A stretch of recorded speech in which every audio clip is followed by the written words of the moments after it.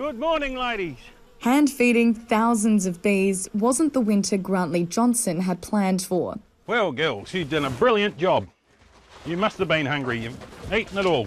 As one of the island's largest honey producers for the tourism market, business was buzzing. Let's have a look at you. He'd planned to grow his 380 hives to 800 this year. It just grew from there. It just it just took off, and uh, you end up with hundreds of hives.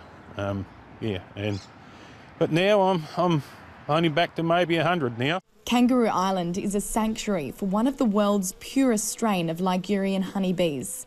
Despite more than a quarter of the island's 4,000 hives burning, keepers have been told not to rebuild. We don't want to just start rebuilding hive numbers where there's nowhere to put them um, and no resources available.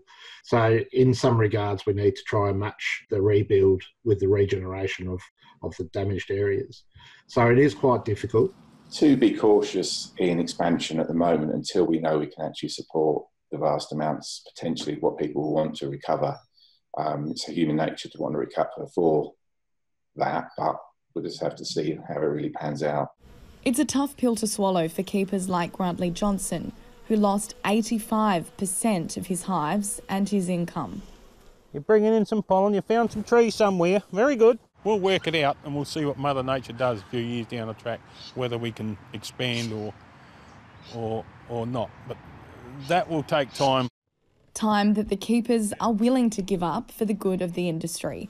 Brittany Evins, ABC News.